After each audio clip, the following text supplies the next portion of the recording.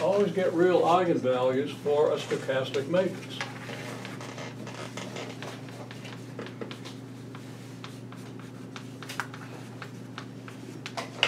Okay?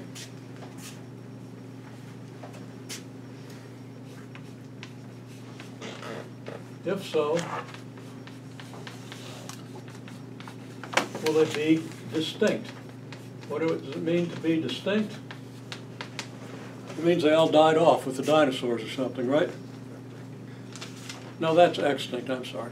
Okay, distinct means that you got two of them, not one repeated root two, right?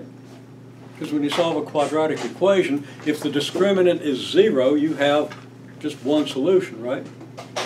And you regard that as one solution, but it's repeated twice. It's important to understand that it's repeated twice, and I won't give you all the explanations of why.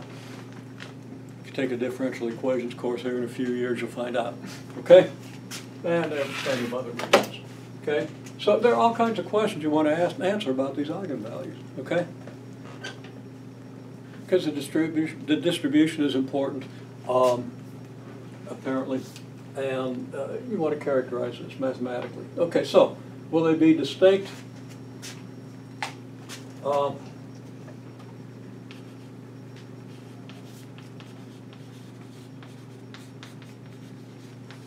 Non-negative?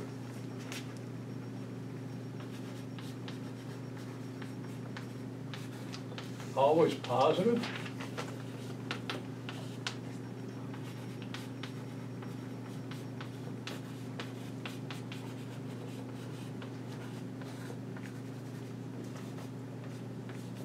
Will they always be between zero and one? That horrible looking thing's a question mark there. Okay? These are questions that naturally arise when you look at solutions of an equation. And uh, they're particularly relevant to the eigenvalues of this stochastic matrix. So how are we going to determine the answers to these questions?